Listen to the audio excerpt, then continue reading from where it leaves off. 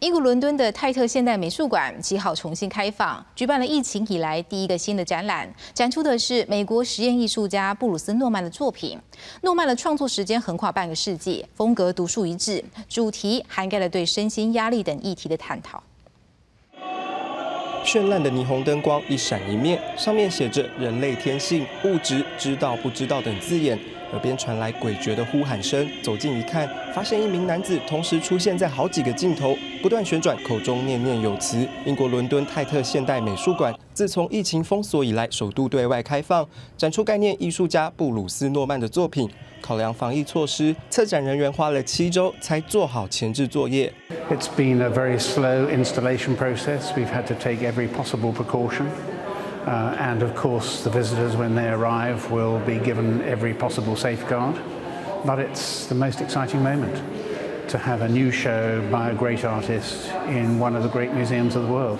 布鲁斯诺曼的创作横跨五十年，部分主题随着时间推移反复出现，像是人体、字母、语言以及身心压力等。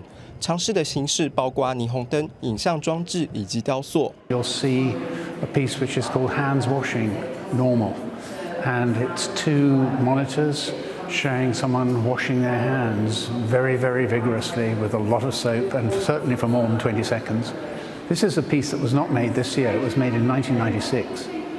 So Nauman takes these rituals that we all perform and makes us look at them even more carefully. And whatever resonance that piece had in 1996, it certainly has a very different resonance in 2020. 策展人表示，布鲁斯诺曼是许多媒介创作的先驱。如今这类型的尝试在艺术圈已经很普遍。When you first go in, it's slightly strange because you think art's meant to be beautiful or it's meant to be inspiring, but here we are celebrating the mundane, the inane, sometimes the slightly awkward, confusing, or even disturbing.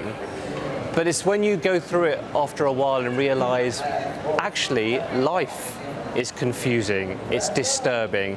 Yes, we like to celebrate the moments that are great, but at the same time, it's also filled by moments when nothing actually happens. 也许不像安迪沃荷或是草间弥生那么知名，但布鲁斯诺曼对艺术界的影响无人可以否认。这场艺术展从十月七号持续到明年的二月二十一号。记者林孝如整理报道。